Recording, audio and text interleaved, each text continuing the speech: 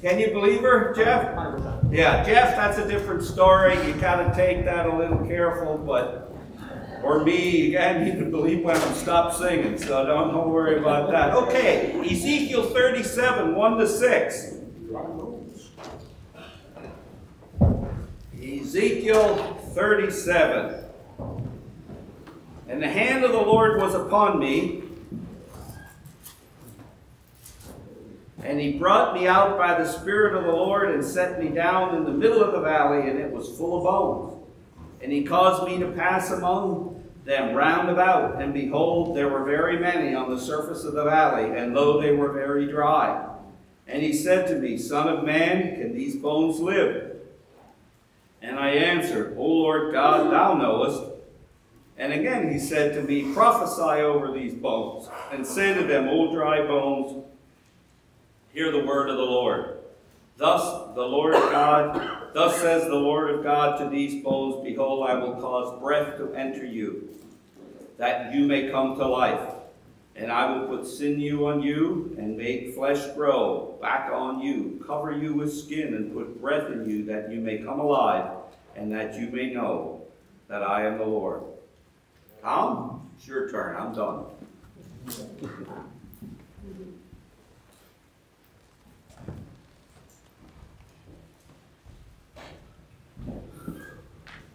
Well, as you're sitting here this morning, you're probably wondering where in the world that is going when it has to do with missions. And I can appreciate that, but you know, all scripture is given by the inspiration of God and is profitable. I titled this The Unfinished Task. You know, if you go back and you remember in Acts chapter 2, the Lord gave us all commission, didn't he? Not just to the missionaries, not just to the pastors and the youth workers, he gave it to the church of Jesus Christ. And that commission is not a suggestion. It's nowhere called the great suggestion. If you feel like going, if it fits in your plan, as long as your 401k is okay, if you have time and you'd like to go, it would be nice if you went. No, he said, go everywhere and tell everyone. That was what the Lord wanted. Now, as I look at this passage, I am reminded, we sang this morning, which I love, people need the Lord. I think that this is really an important thing to keep in our mind. Because you see, I think we forget sometimes that there are unsaved people all around us.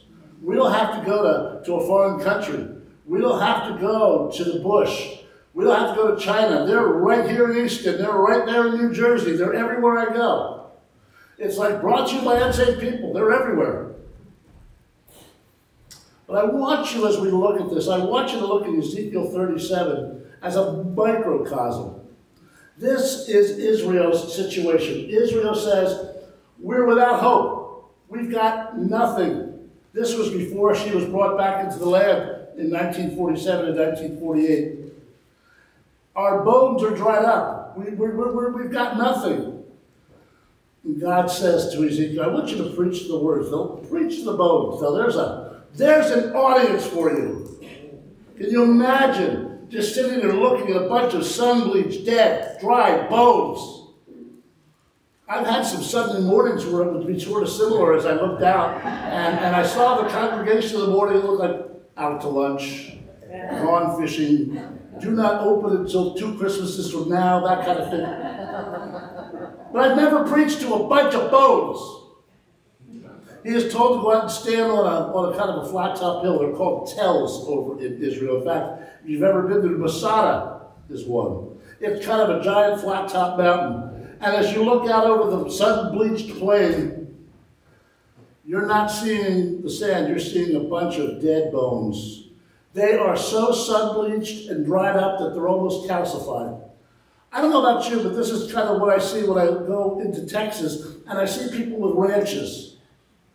And they're telling me this is the whatever ranch. And outside the ranch is this kind of sun-bleached, dead, dried up cow's head. Doesn't really look too good to me. Like, wow, what kind of cows? You got the dead ones or do you have the live ones? Are they all looking like this? Or do they actually have like flesh and blood and bone on them? But God says, I want you to preach to the bones. Hear the word of the Lord. No, when he says prophesy, that's really what he means is preach. Prophecy, he's not prophesying as in uttering some future event that's going to happen. He is actually declaring the word of the Lord. That's what the Lord wanted him to do. And we saw in the text that he began to do that. And God began to put the bones back together. And we're seeing in the text, take a look at verse 11. Then he said to me, Son of man, these bones are the whole house of Israel.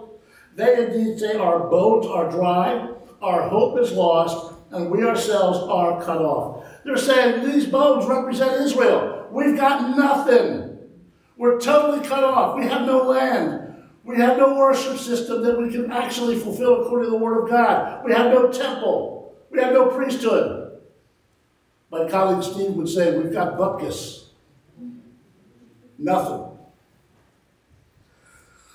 I want you to consider this as looking at Israel's situation in this passage as a microcosm of the human condition. Where are the unsaved people? They're dead. They're lost. They're dried up. They've got no hope. They've got no promise. They've got nothing. Do you realize that when we're around the unsaved, we're communicating and talking with living dead? They may be alive physically. Israel's going to stand up alive physically, but she was not alive spiritually until the Spirit entered her. And that word, Spirit, there means the Ruach, the Holy Spirit, the Spirit of God. Once the Spirit came in, they were alive. Prior to that, it says they stood up an exceeding great army, but there was no breath in them. And that's really where Israel is right now. She's fighting for her survival, but literally, there's not a spirit in the entire Israeli army. There's not a spirit in the Israeli Knesset. There's not a spirit in the majority of Israel. I uh, had gotten a question from a pastor the other day.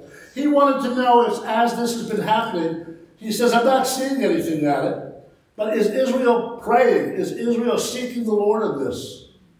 So I wrote to Menno last night and I just said, look, no rush, but if you have an opportunity, I have a pastor over here that would like to know what the spiritual condition is in Israel as far as are people seeking, turning to the Lord. If you remember, when we got attacked on 9 11, churches were packed out the next Sunday. Didn't last long, but for a brief moment, churches were packed as everybody asked why. He said that there are many believers that clearly are praying and they're sharing, but there's nothing official coming from the Knesset, coming from Jerusalem, coming from the government, that there is a sense of turning, that there's a sense of we need the Lord. And that's sad. Because, folks, there's no other place to go. When things get tough, where do you go? You go to the Lord. Lord, I hurt a rib. We, we pray. Somebody has a car accident, we pray. We know that somebody's facing surgery, we pray. We go to the Lord. The Bible says the name of the Lord is a strong tower, and the righteous run in when they're afraid. See, we have a place to go. When we need the Lord, we have a place we can go. We can go right to the Lord, and we can lay down the burden of our hearts. But if you don't know the Lord, where do you go? Who do you go to? Who do you lay down that burden, concern, that fear to? You see, Israel's situation in this passage is really a little miniature picture of the human condition. Just like Israel, people are lost. People need to be made alive. Israel will have a national conversion someday in the future. Zechariah 12:10 tells us that they will look upon me, whom they pierced. Matthew 24, Jesus said, You shall not see me henceforth any more until you say, Blessed is he that comes in the name of the Lord. There will be a national conversion for Israel. Right now, Jewish people are being saved one at a time. I told Lorna she's a preemie. You know, preemies are the ones that are born early. She's one like Paul. Paul says, I'm one born out of due time. There's a time when national Israel will turn, but I was born early. Lorna was born early. Every Jewish believer that's in the world today was born early. Because God is not willing that any should perish. But if you really understand and you have a heart for the world, you have an understanding of the people of the world, those who don't know Christ are dead. They may be alive physically, breathing, they may be animated and move, but spiritually they're dead. That's why we can't marry an unsaved person. What fellowship does life have with death? You know, I don't go to too many funerals and say, well, I, I think that, that person that died really is a nice person. Can we get married? What fellowship can life have with death? What do we have in common? Nothing. You see, the world is lost. The state of our world today is not getting better. I hope that you can see that. You know, we have tried and we've tried to put on a positive front and, you know, we, we try to talk about the wonderful things that are happening, but it seems like every time something great begins to happen, something even worse eclipses it. After COVID, I, I, I thought we'd get a little bit of a rest, but we haven't gotten any rest at all. And many people still haven't even come back to church or synagogue yet from COVID, let alone what's going on today. I want to take you now from this picture. I want to take you into the new covenant. If you would turn with me to the book of Ephesians. I want to show you what's happening here. Ephesians, and we're going to go to chapter 2. Now remember, Israel says, Our hope is gone. We're a bunch of sun bleached, dead, dried bones. We're dead. Look what Ephesians 2 says. The apostle writes, And you be made alive, who were what? Dead in trespasses and sins. Folks, there was a point in the entire congregation's life where we were in the same position as Israel. We were dead in trespasses and sins. We had no hope. We were enemies of the Most High God. We didn't know Jesus. We had no promise. We had nothing. But by the grace of God, He made us alive, didn't He? Totally changed our lives, altered our destinies. He changed the directions of families. He changed the directions of countries and cities because of His amazing grace that was shed upon us. He says here in verse 2 to which you once walked. In which you once walked. Folks, we walked the exact same way. We were dead in trespasses and sins. You didn't have to teach me how to do it wrong. I knew that. My mom's now with the Lord, but if she were alive, she could tell you the grief I gave that woman. I invented ways to do it wrong. I lived from trouble to trouble, tsuris to tsuris, problem to problem. Nobody had to teach me to lie. I kind of knew how to do that on my own. Nobody had to teach me how to steal. I knew how to do that. As I stole a pastor's radio. Yeah, we were invited over to the parsonage of a pastor that had been the pastor of my church when I was growing up. And this little kid saw his first transistor radio. I've always liked electronics from the time I was a kid to now. And let me tell you, I never saw anything that I remember as being more beautiful than that transistor radio. And uh, it just happened to work its way into my grandmother's car and come home with me. Whereas my mom would say, Be sure your sin will find you out, because oh my stars, did she find me out. And I was marched back to the pastor's house with radio in hand, an apology, and returned it, admitting what I had done. We laugh about it now. But you see, that's how sin is. I didn't have to be taught how to do it. It was just an instinct. And that's where the world is today. That's why unsaved people do unsafe things. That's how we can explain what's happening in Israel today. Unsaved people do unsaved things because they're unsaved. And folks, I love Israel, but this isn't the first time something like this has happened to Israel. They were taken into captivity by Assyria. Assyria really knew how to be cruel. They literally based their entire civilization on calculated cruelty and how they could keep people alive by how horribly they could treat them.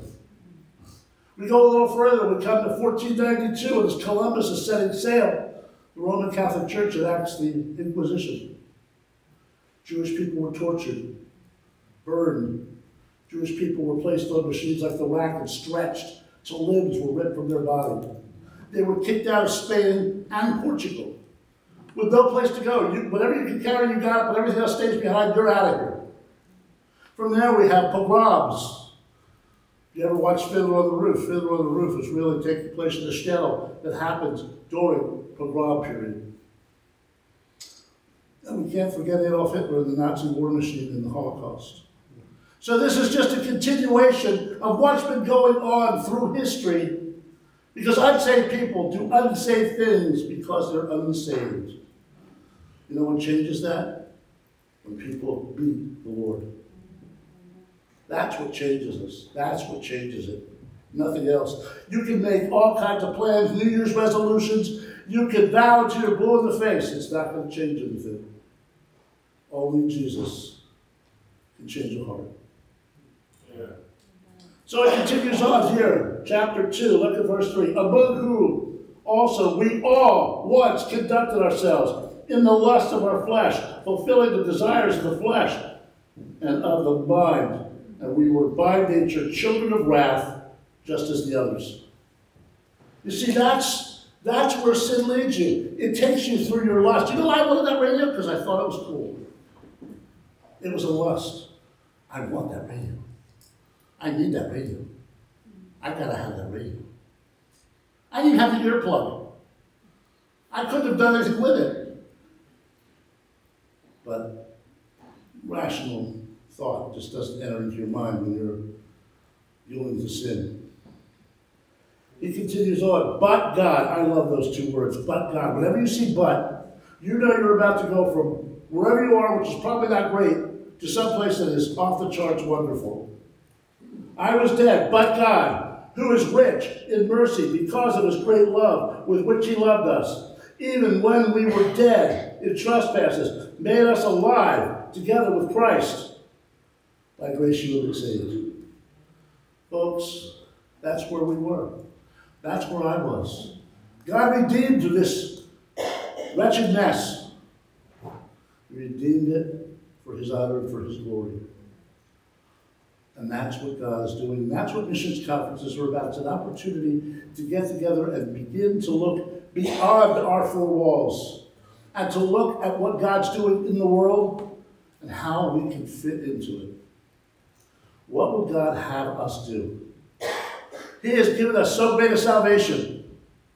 And God is calling men, women, young people today, saying, Leave what's behind, go to the place that I will show you, just like He called Abram from the counties to go to a promised land. Many have answered the call, but there's still, there's still need for more. I haven't had the privilege of being here all week, but if there's one thing I've come to understand about missions is we always need more missionaries in every field. Mm-hmm. I guarantee you, if you were to ask every missionary that's here, they would say that, yeah, come, we need you. We need bodies. We need human beings. Because the fields are white on the harvest. And we've got no laborers. You know, in Israel, after the attack of the 7th, the crops were ready to come in down near Gaza. There was nobody left to harvest them. Because everybody that was going to harvest them was either in the defense of Israel or banned from the country because they locked out the, the Palestinians that used to do the harvest. Finally, because of the need, they relented. You didn't see this in the news, but they allowed a number of Palestinians to come in to help with the harvest because the bottom line is they need the crops. They had lettuce and tomatoes and corn and all kinds of crops because it's that time of the year. It's time to bring it in. And they had no way to do it. That's what the Lord's saying. I've got nobody to send out for the harvest. So many mission agencies are, are, are drying up because there's no new people that are accepting the call. And we're getting old. You know when I started? I was in my 20s. That was a long time ago. Never going to see those days ever again. They're gone. But when you realize what God has done in your life, how God has totally changed everything. You were dead trespasses and sins, now you're alive in Christ Jesus. You were headed for a crisis eternity. Now, absent from the body is present with the Lord. It just keeps getting better and better because of what the Lord has done. And the songwriter says, Give thanks with a grateful heart because of what He's done.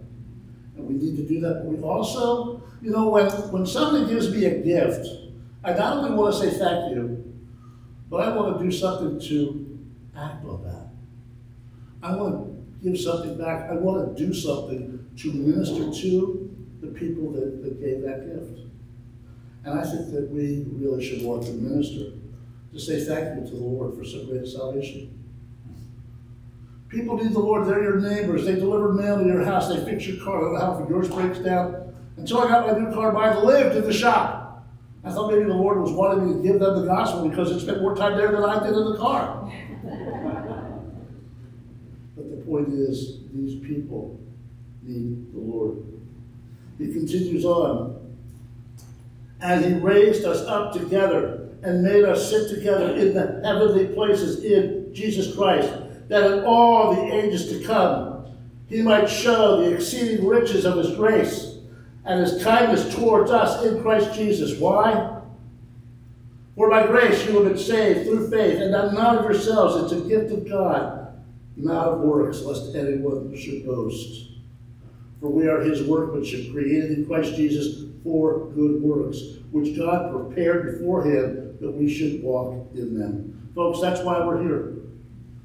You see, that microcosm met a metamorphosis.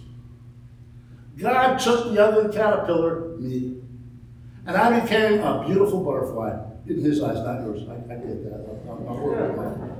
You know, sometimes all you can work with is what you've got. And, you know, but a metamorphosis, just like that caterpillar spins the cocoon, and it goes in this really kind of ugly bug. It comes out this beautiful butterfly. Well, that's where we were. We were dead in trespasses and sins, and God totally changed our life. And He made something beautiful, something good, out of something that was ugly and totally useless.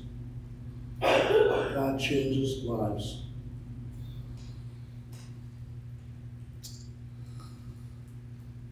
God is all about changing hearts. That's what God does. And it doesn't matter what we've done. I'm reminded of, you know, we're, we're living through a, a mess, but I remember reading the, the account of Corrie ten Boom during the Holocaust and the, the Germans that had really killed and tortured her family. And you'll remember her sister, Betsie, before she died, she said, Look, it's easy to hate. No hate, Corrie. no hate. And then Corrie was forced to meet the guard that had been the one over her sister that had been responsible for her death. But all of a sudden, he had been transformed. He was no longer the, the Nazi, he had been changed. God gloriously changed and totally altered his life, his destiny, everything.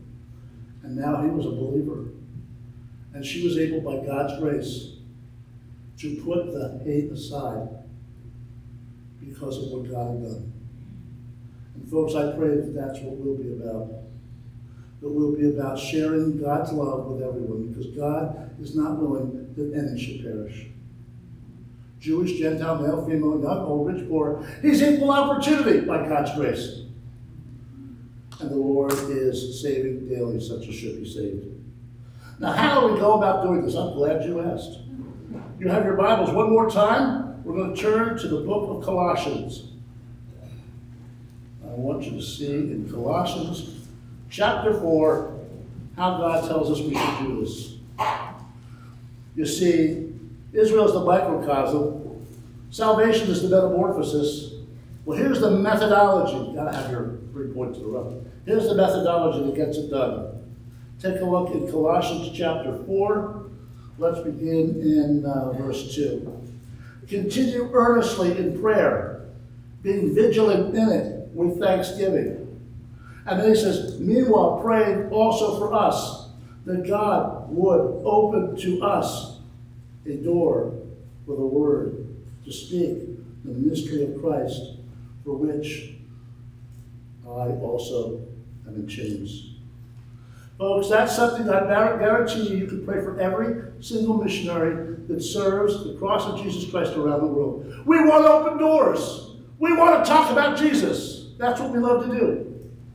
When I fly, I beg the Lord to put me next to somebody who'll talk. When I'm sitting on a train, I'd like to talk to somebody. That's what I want to do. I want to talk about Jesus.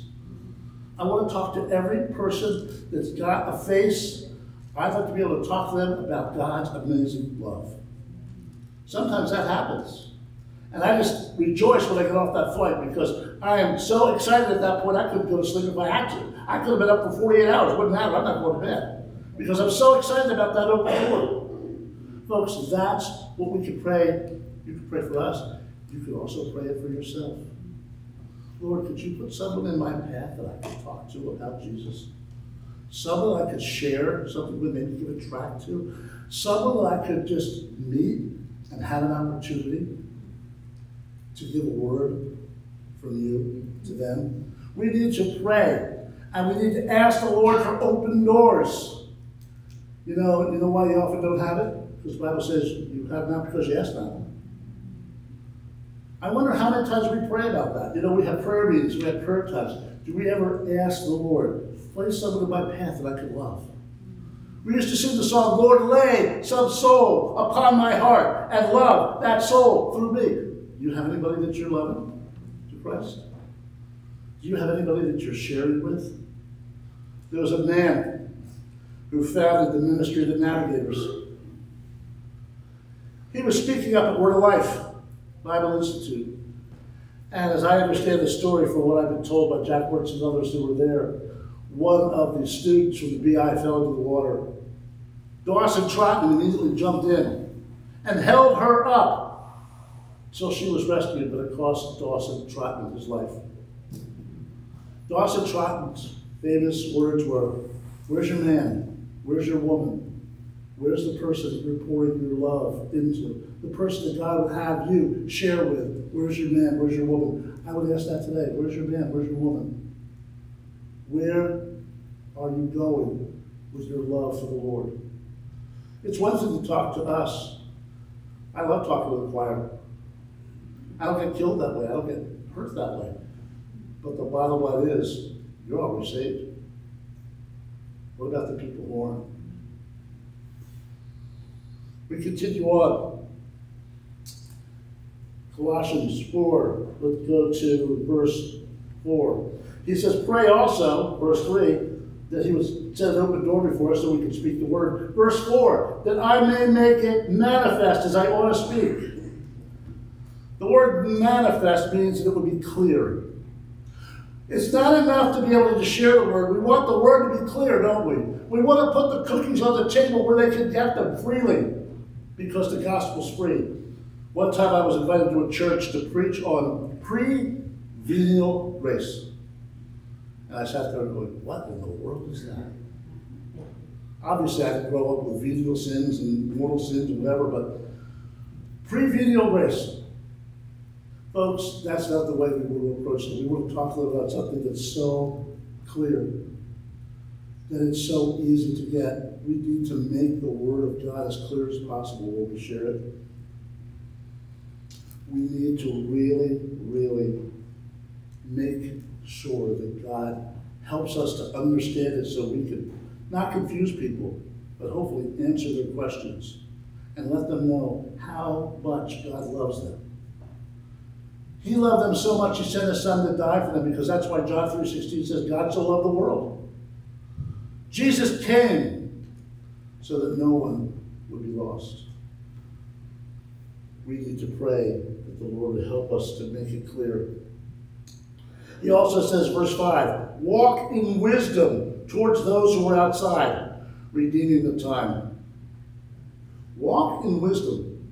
You see, I've already mentioned unsafe people do unsafe things. So if I'm forming a business, that's not going to be where I'm going to go for a business partner as to some unsafe guy or gal.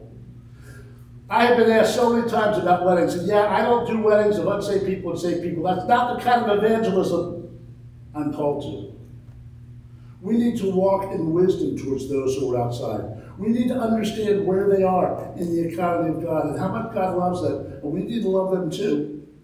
We also need to look to be able to share with them so that they won't be outside, but that they could come inside the kingdom, That they could be one with us in Jesus through the power of the Holy Spirit and the power of the gospel.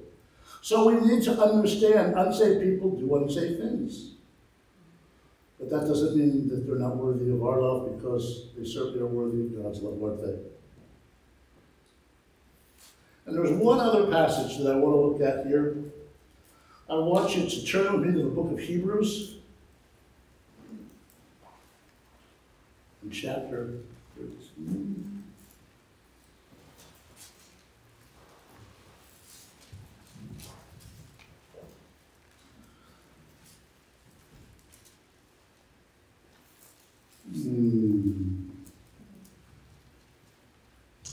The verse where he says that we are to walk expectantly of the Lord, that we should always live as if his coming would be today or tomorrow, and that we need to be able to have a heart to share that with them. Not only are we walking towards them in wisdom, but we're walking towards them with a heart that we should never want them to not be saved. He talks about that throughout the Bible. There was a verse in Hebrews that I had, I lost it. Obviously, it's still here, but my brain isn't. Folks, the gospel is really easy if you think about it. In fact, I think that's why humanity struggles with it so readily, because it's so easy. They want to do something. They want to think it's hard. I've got to work. I've got to stress. I've got to strive. I've got to do something. I've got to change. I've got to try to please God. I've got to crawl up hills on my knees, carrying crosses over glass, because I have to beat myself up because of what Christ did. The gospel is very easy. Believe in your heart that God raised him from the dead. It's, it's not rocket science. It is so easy. I think that's why so many people stumble and fall. Because God has made it so easy. They, no, it can't be that easy. There's obviously got to be some affliction in there. I want to afflict myself. I want to beat myself up. That's not how God works. And if you're a believer and you're going through difficult times, I can tell you, as a believer, yeah, you're going to have difficult times. He didn't say that it was all going to be a bowl of cherries. Actually, he could have said it's going to be the pits. Because many times, as we go through our lives, we get the pits and not the cherries. But you know what? That's why we call the name of the Lord, and that's why he helps us. As the hymn writer said, if I'd never had a problem, I wouldn't know that he could solve it. I wouldn't know what faith in God can do. But through it all, I learned. Oh, how I learned. Now we have one final point, and I want to just share this with you to give you a little heart. You know, to be able to accomplish this, you have to you have to do a little planning. You have to be ready. So for the methodology, you have three P's: prepare, practice, and persist. Prepare. You need to carry tracts, carry a Bible. Be prepared to share plainly. You got to be ready always to give an answer to the hope that lies within you. You know, I, I, one of the greatest things the Lord ever gave me was my wife. She carries a purse. You could lose In that purse. it's so big, and I, I couldn't find anything if I tried. She said, could you get my phone? I said, is it any place in particular, or is it kind of roving with a herd? you need to prepare. Carry some tracts with you. I'm sure we have a tract rack. Pick some up. Carry them with you. Read them before you share them. As you share, as you interact with people, pray about what to give them. Pray about leaving them with a piece of literature that you could give them because faith comes by hearing and hearing by the Word of God. And tracts are a wonderful way of getting little bits of the important Word of God for them to read it and see it. Also, your Bible. You know, when, when I first started out with Friends of Israel back in the 70s, we didn't have cell phones. I didn't have a Bible app that had 93 Bible translations, including Greek and Hebrew. I had to carry a Bible. No, I didn't carry this. Too big. But I had a small Bible. A New Testament isn't enough. I'm in Jewish missions. Jewish people don't readily embrace the New Testament. If I'm going to share with them, I got to have the whole counsel of God. And so I learned to always have a Bible with me be it on my cell phone now or in my presence, my person, I've got a word of God. Because you need to be able to be ready to share that. So you got to prepare, you got to be ready. That doesn't just evolve like, when I would go up to Word of Life, Jack Wyrtzen would say, Simcox, you got any tracts? I had to be ready because I knew Jack was going to ask for them. You also have to practice. Use it or lose it. Kind of like exercise. There's that word we all love.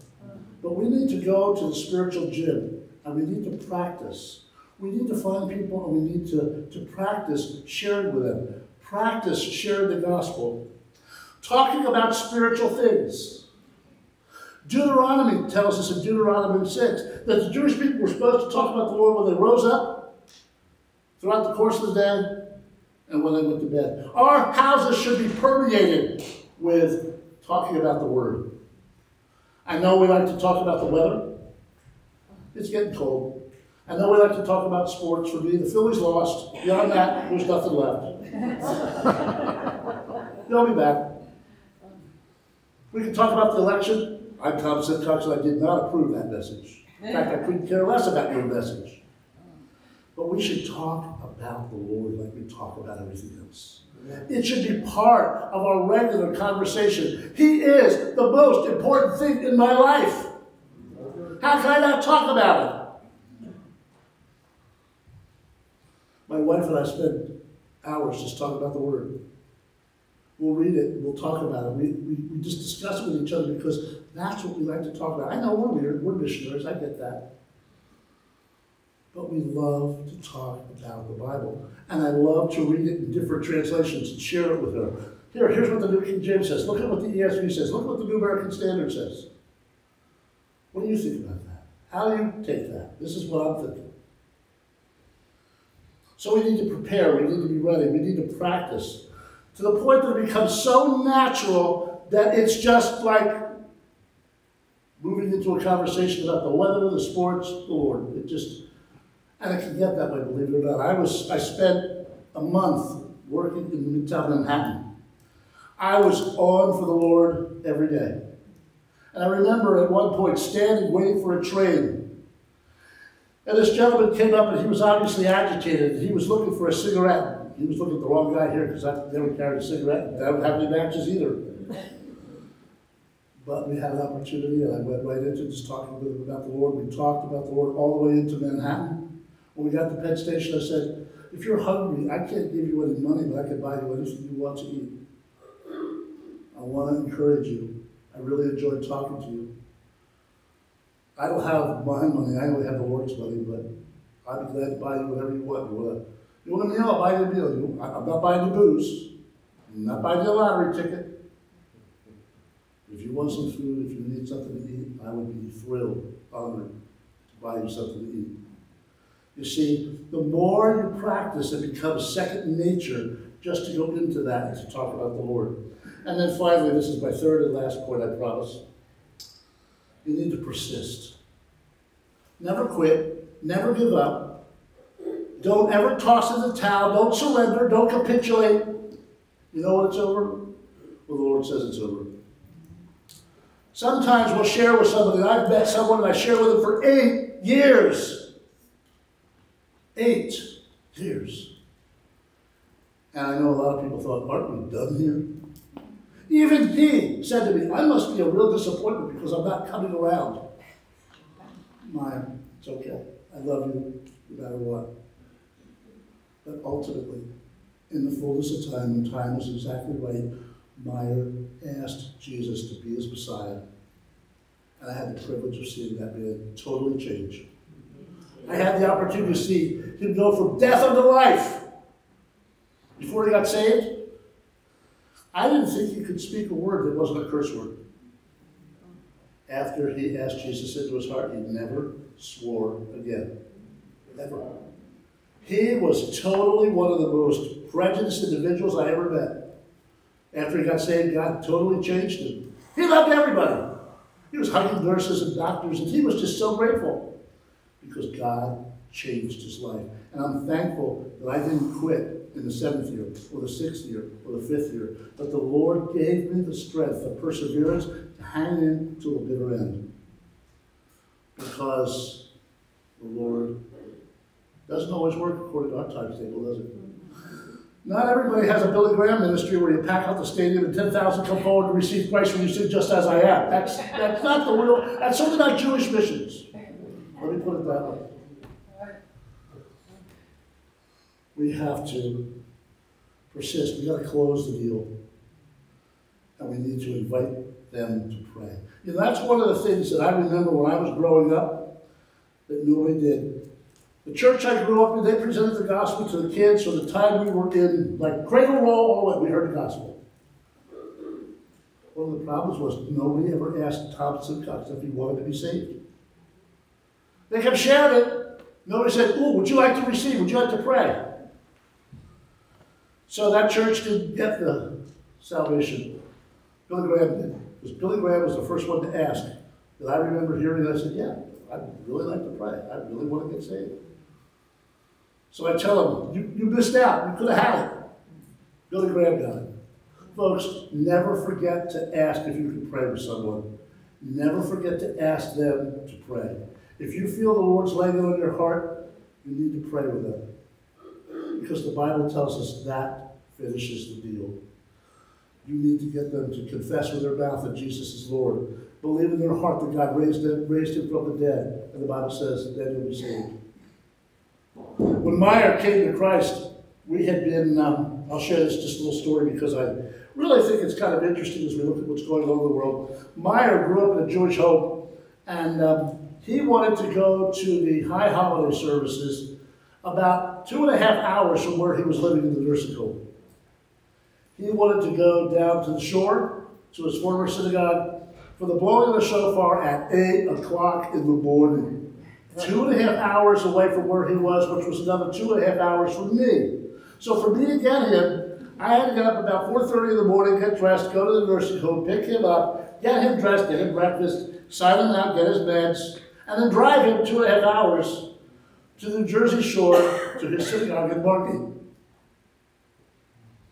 And we went, and the service was packed because it's one of the big ones, it's the high holidays. And everybody likes sitting up front. I'm, I'm sorry, Baptists, but you know, you, you kind of miss it. The, the Jewish people really want to sit up front because they want to be close to God because the ark is the closest thing that they can get to God. So they pay premium dollars to sit up front. We were in row SS. Now, think about that. Tom Simcox Missionary and Friends, and a Jewish guy, we're sitting in row SS, which means we were so far back. By the time they started standing up front, it was like a wave. I had binoculars. Oh, they're getting up. and all they did that service was confess sin. And I remember leaning over to my friend and said, you, you understand what's happening here. I've shared this with you. I've told you what God expects. And all you have to do to be forgiven of sin. Throughout that day, he kept asking me, what would I have to do? What would I have to do if I wanted to believe what you believe? Finally, I brought him home and we stopped at McDonald's, that classic restaurant, because he didn't want to go home yet. And if you remember, McDonald's always puts a piece of paper on every tray. Very useful. Because I took that and I wrote the sinner's prayer on the back, and this was actually like the sinner's tome. It was like a book. I put scripture in there. He was quoting scripture, the whole thing. But when it was done, I folded it up and I put it in his pocket. I said, I really can't pray this with you because Byron, I'll never know if you did this because of me, because we're close friends and you love me, or because you believe it. But you have to believe those words. You have to believe them with all your heart. Because faith comes by hearing, and hearing is believing the word of God. He called me up two days later. I did it. What'd you do? What you said? I didn't say anything. Why pray? And well, was something supposed to happen? Said Meyer, you work here. If you were to stand before Jesus and he were to say, Why should I let you into my heaven? What would your answer be? He said, I believe in Jesus. Now you have to understand, when I first met him before, I couldn't even say the name of Jesus because he hated it so much. But then he changed. God totally altered his life. And I'll tell you, when I had the privilege of being at that man's funeral, it broke my heart to be in a Jewish cemetery when I wondered if besides him, anybody else in there ever knew who Jesus was. You know, we're looking forward to a rapture. Jesus is coming again. I read the Bible, you read the Bible, we know how it ends, and we win. And someday, every believer is going to be raised up from the grave. And I'm so thankful I know in that Jewish cemetery outside of Philadelphia, there is at least one man. I know there's going to be an empty grave there. Because he put his faith and trust in Jesus as his Savior. Folks, our job is unfinished. We can't quit. Vacation time is over. It's time to get busy. I watch TV and everybody's always hitting the ground running. When are we hitting the ground running? When are we going to get it done? What are we waiting for? Hmm. If not you, who? If not now, when? What are we waiting for? Father, I thank you so much for your word, and that you allow stammering tongues like mine to be able to communicate eternal truth. Father, I thank you for allowing us to be at a missions conference. I thank you for this church and that they still have missions conferences and for all that has gone on this weekend. And I just pray that everything that's been said, done, and thought would redound to the glory, the honor, the praise, the exaltation of Jesus Christ. That you would bind Satan. And Father, that you would burden our hearts with the things that break your heart. People need the Lord. Is it just a song? Is it just a slide presentation that shows us people that we'll never see from somewhere else in the world? People need the Lord are right here, right now. We live next to them. We work. We drive next to them. We buy our coffee and shop at their stores. And Father, if we're not going to get busy, who will? You've called us. May we get done what you've called us to do, and may we do it to glorify you because we love you and thank you and praise you. In the name of Jesus, and all God's people said, Amen. Amen. I have to confess to you right now, Marge, you're not going to be happy with me because we're only singing one verse of Send the Light. Marge likes to sing all the songs, all the verses, but we're going to sing verse 3 because I believe it applies to today. I want you to be seated while we sing this verse because then I have a thought or two I want to share. Are we ready? Verse 3.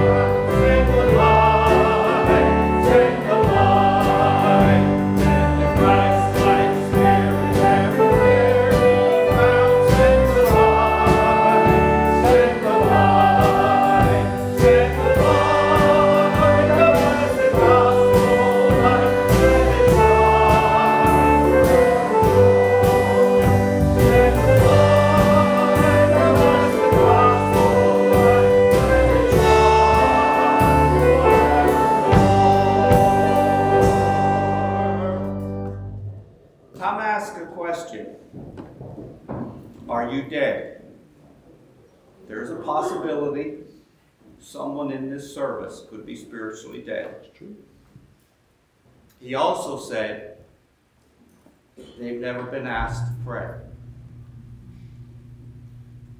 I'm asking you if you are spiritually dead, and Tom made the gospel very clear. Ask Jesus into your life. Amen. You can do that now. I'm asking you to do it now. And if you do it, come forward and share with Tom or myself or Jeff or Sarah or someone in this church. That's number one. Number two, he asked about open doors. We're going to close our service. I want every one of you to think of a door you wished was open for you. Maybe a neighbor, friend, somebody that you wish the door was open. We will close in silent prayer with you praying. Take a minute and I'll quickly close at the end for an open door for someone that God is placing on your heart at this moment.